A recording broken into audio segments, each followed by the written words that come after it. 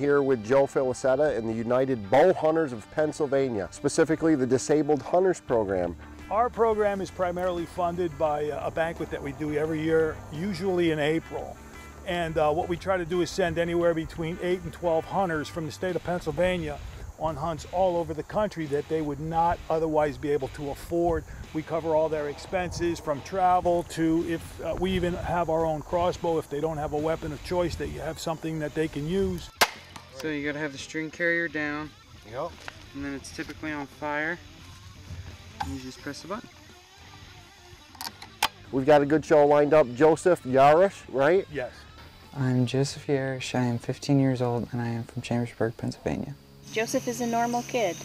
Um, raising Joseph is just like his older two sisters. Mhm. Um, we found out September 11th, 2001, that the baby we were expecting had the most serious birth defect, spina bifida. So we were told poor quality of life, um, he wouldn't walk, um, he would struggle in school.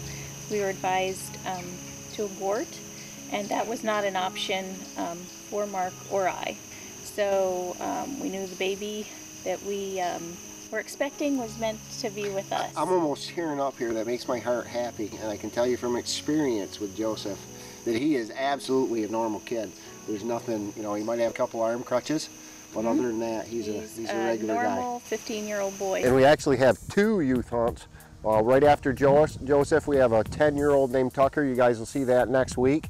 Uh, but again, I want to talk a little more about what you guys do, not just the disabled part, but the United Bow Hunters of Pennsylvania. Responsibility is an important word. When you buy a hunting license, I think that makes us responsible, right? Not only for the animal and the landowner, but being active, part of your community, and that's exactly what these type clubs do. We are the state's bow hunting organization. Whether or not you're a member, we represent you at all game commission meetings. We have a representative that represents all bow hunters. Everything that bow hunters across the state um, all the benefits that you have is something that we've lobbied for over the years. So these guys are working with legislators to protect hunters' rights and the wildlife. They also do a special hunt that allows them to work with landowners. We help farmers out with an overpopulation of deer and what we do with the deer harvested during this hunt is we donate them to a program called Hunter Sharing the Harvest. So it's a win-win-win. Our guys get a place to hunt, the farmers get some of the excess deer taken off, and we're feeding the hungry. And those, again,